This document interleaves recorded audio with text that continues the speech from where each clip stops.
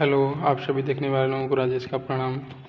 जो व्यक्ति गुण और विद्या रहित होकर भी घमंडी हो, दरिद्र होकर भी बड़ी बड़ी इच्छाएँ रखता हो, अन्यथा मार्ग और खोटे काम करके भी धन चाहता हो, जो थोड़ा धन पाते ही इतराने लगे, अपनी क्षमता से बड़े काम हाथ में ले ले लेता हो, पर पूरा न कर पाता हो, जो अपने पास की वस्तु से संतुष्ट नहीं होता और दूसरे की वस्तु को अधिक अच्छी समझकर उसकी लालसा रखता है, वह अधिक, वह व्यक्ति मूर्ख है।